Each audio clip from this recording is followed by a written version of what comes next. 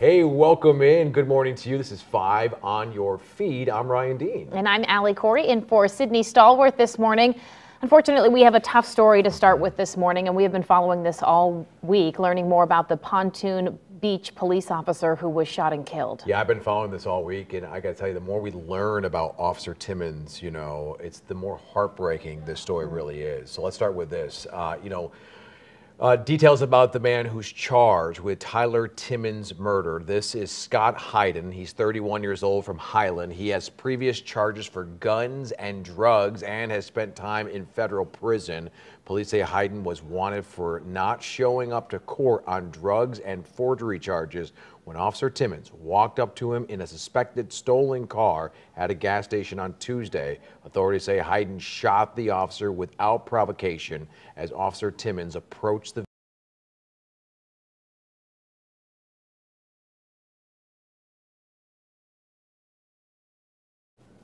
Now, Officer Timmons leaves behind a wife and daughter. There is a growing memorial outside the police department with bunting and flowers. Uh, we've seen several people just walk up and lay something on top of this pontoon beach squad car. I was out there this morning. It's just, uh, hmm. it's just a beautiful, heartbreakingly beautiful sight. And people who knew him, you know, they called him a very selfless man. Hmm. You think 31 years old? Yeah. Well, he's thir- uh, he's 36. The suspect is 31. Okay. Yeah, the officer's 36, and I think. Um, you know, one thing that the chief said yesterday at a news mm -hmm. conference, he said, I think that um, one of the things the officer want you to know that he didn't die in vain, basically. He died yeah. doing what he loved to do. Mm.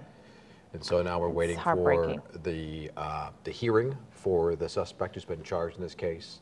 And so we'll be following this very closely. Obviously. And his wife was also a police officer. Yeah, yeah, she is a police, She's officer, police yeah, officer. in the Metro East. Mm -hmm, she is. And, and they, they, have a daughter. Uh, yes, he has a daughter. He, he just got recently married about a month ago, too. Okay. He's, he's a newlywed. We're learning more about that. The family did release a statement. We're going to try to get that on. I think we have that online for you now. So mm. um, it's just so heartbreaking. Oh, it's just terrible. You know, it it, yeah. ju- it kind of reminds me of, you know, Blake Schneider. Mm-hmm. He just walked out of his patrol car, South County, and that was when he was shot and killed. and I remember that morning mm-hmm. vividly. I mean, yeah. anytime we hear about an officer injured um, on scene, it's just you mm-hmm. immediately get this feeling of, oh my goodness, I really hope mm-hmm. that they're okay. But um, you know, they put their mm. themselves mm. at risk every single day. And you know, families of police officers say you always want to hug and kiss goodbye because you never know if that'll be yeah. the last time. Um, but it, it's just so heart wrenching when it happens. One of the great organizations that we have in this area is called Backstoppers, and it's helping the Timmons family. And we have a link to donate on our website. You can get the link directly when you text Backstoppers to 314 425 5355. And again, this is a wonderful organization. Oh, it is. It, they do great work. All right, the other big story this morning Stan Kroenke has a lot of you talking in St. Louis. He's going back on a promise that he made to the NFL years ago that he would pay tens of millions in legal fees tied to the Rams' departure from St. Louis. Now, according to ESPN, there was a meeting in New York on Tuesday with NFL owners where Kroenke said he doesn't think he should have to pay. And apparently, it got so heated that NFL Commissioner Roger Goodell asked Kroenke to leave the room. So we caught up with a legal analyst, Daniel Wallach, who says Kroenke actually agreed to those legal fees in Houston some six years ago. And if he hadn't agreed, well, the owners would never have voted in favor of moving the Rams out of St. Louis in the first place. Mm -hmm. And, you know, a lot of people are saying, well, this latest feud between Stan and the NFL it could only boost St. Louis's claims. It's interesting because um, that legal analyst, Daniel Wallach, said, I don't think that Stan ever thought that this would cost him as much money as it has. Sure. And he's saying that it could end up amounting to almost half of his fortune, if not more. Well, I guess so. The sticking point here is if if it's exclusively his money that he has to pay right. for all the legal fees. Now, I'm not defending Stan at all, but what I've be careful, Ryan. I know, but what I've heard, uh, you know, the other side of it is that like the NFL would have never gotten a team in Los Angeles if it wasn't for his deep pockets. Like he privately funded the whole stadium, right? And so the argument is why the other owner should also pony up right. is that they are making buka bucks Right. off a team now being in Los Angeles. That the NFL Network has a, has their has their headquarters there, their LA West Wing quarters there in his stadium that he built. Again, I'm not defending Stan at all, but I'm saying Right, but you're saying i- if he's having to, you know, pay all this money, it was a team decision. why he's league decision. arguing. He's like, it might be my Yeah. team, but everybody here has benefited it, from yeah. me leaving. So, um, but it's, It's just- interesting. It's a delicious story. It is quite delicious. And speaking of delicious, Gioia's Deli even tweeted about it, and it is quite hysterical. They tweeted saying, quote, can we make a sandwich named the Kroenke and it's just full of bologna?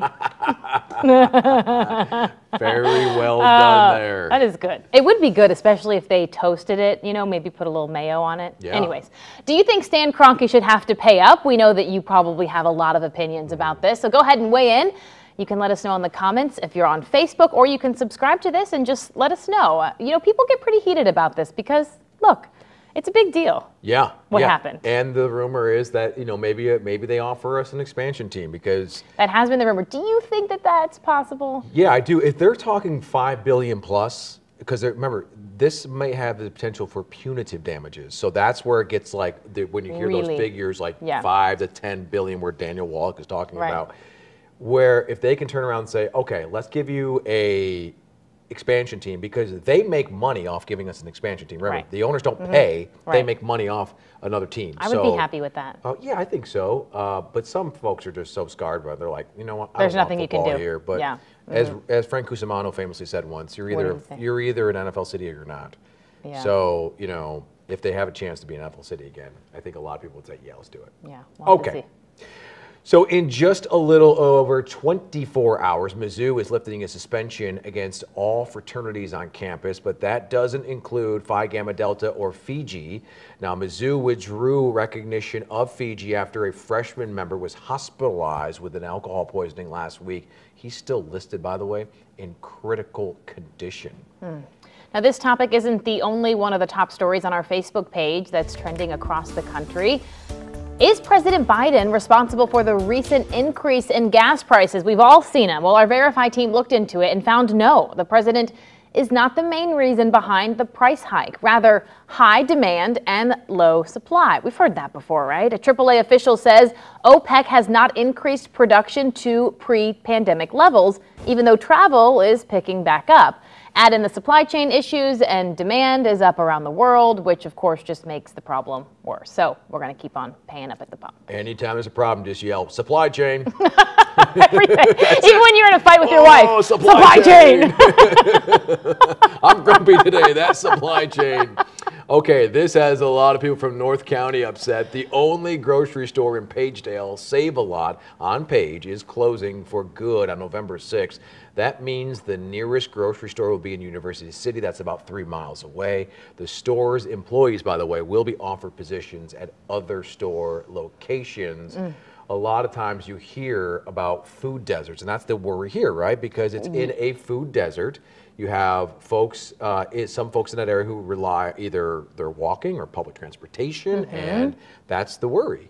And I know it says oh three miles, but three miles when you're trying to rely on public transportation, that's a lot. And if you're bringing groceries back, Yeah. Because I used to live downtown here, and I would just go around the corner to Culinaria, Right. and it was a couple blocks. But when you're walking back with bags of you know milk and heavy things, I mean that's not easy. And, and when I saw this story this morning, I mean it's heartbreaking because Yeah. you know they worked so hard to get that store there, and so to see it close is just Yeah, I guess they raised like six million dollars Yes. to get the store there in the first place. So Right. it has a lot of folks just uh, reading and, and um, talking this morning. Mm-hmm. Well, here's some good news happening out of North County. A nonprofit is transforming a vacant shopping center, formerly known as Springwood Plaza.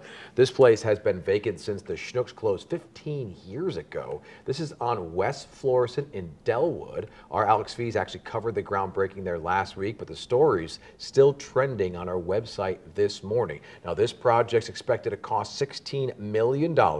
Refuge and Restoration, or R&R, is behind the construction. It's supposed to have an early childhood learning center, banking, work, uh, banking, workforce development, but the biggest space is going to be a multiplex that houses a church and tenants that include health clinics. That's great. Partial opening is expected by mid 2020. 2022. Oh, well, that's great news. is wonderful news. And you want some more good news, Ryan? I love good Here it is. I know you're going to like this too because it has to do with beer. Ooh. Good news coming out of South St. Louis. A Dogtown brewer is eyeing expansion into the area. We're- Mm. Supply chain. We're talking about Heavy Riff Brewing Company. They want to build a facility on Fyler in St. Louis's Northampton neighborhood there. The new property will employ 50 full-time workers. It'll cost about 4.2 million.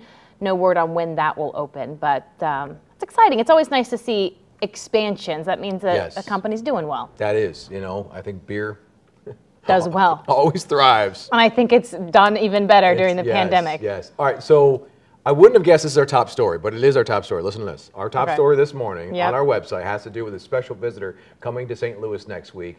Do you know who it is? It is a big deal. I do, because I see it in the prompter, but it is a big deal.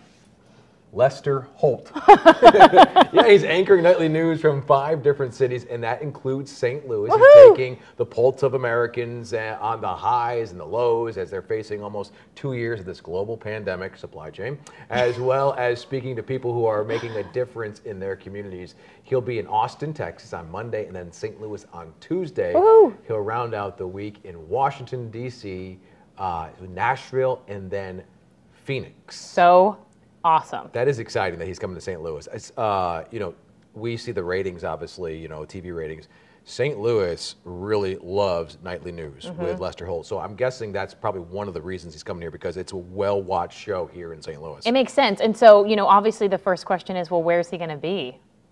Because I've seen some of these across America uh, shows before, and he usually has crowds of people behind him. Okay. You know, um, so stay tuned. I don't know if we're allowed to reveal any information on that, but you got you, tuned. you got details? Maybe. uh, no, I don't. Oh, right. We're not Oh. allowed to say. Oh, It's a secret. All right. Well, we're we're going to talk to the weather, right? oh yeah. It's raining. Yes. Weather. Good Thursday morning. We are waking up with showers across the area this morning. Area of low pressure to our south, right across southwestern Missouri. That's going to kick up the rain and the wind for today and tomorrow. In fact, tomorrow turns even more gusty. Those winds topping 35, maybe even 40 miles per hour. As we get into the weekend, dry weather set to return, and that gets us into Halloween. Numbers will be up near 62 for the daytime hours, falling into the 50s for the trick or treaters, with overnight lows on Sunday back into the 40s.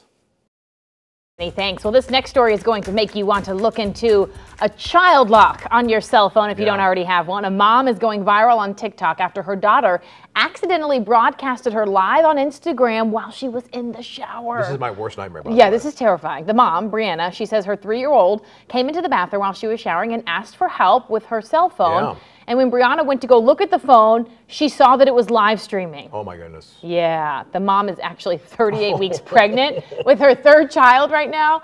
She's just thankful that she doesn't have a big following because um, hopefully too many people weren't watching. But with live streams, do they? I'm not sure because I've never done those on Instagram. Do those go away? I, I don't know, but And you can delete them, I'm you sure. You and I both have young children. Yes. Um, my three-year-old knows how to unlock my phone. Oh, really? He actually took the phone one time, pulled it to my face, so for the Face ID, he's three. Um, he knows That's how so to scary. get into YouTube to watch his bath songs. He calls them bath songs, like nursery songs. Yeah. But he's been on Instagram before. I've caught him on there, so th- I, this way. relates to me. Like I'm really scared, so I actually lock the bathroom doors. You yeah, you need to make sure. Yeah, yeah, yeah, yeah. Yeah, and it's it's unbelievable um, how good they are at technology. These little It's these- crazy. These, little ones. I mean, it's just so natural to them to just pick up a phone Yeah. and they figure it out. Yeah. And you know, here we are in the dinosaur ages Yeah. trying to figure out updates, and they're logging into Instagram. He calls it the gram. The gram. He goes, I want to see Graham. Three I want to see Graham. old. Three. I know. All right. All right. Well, I think we have to go. Yeah, we Okay. do. All right. Thanks for hanging out with us. See you tomorrow.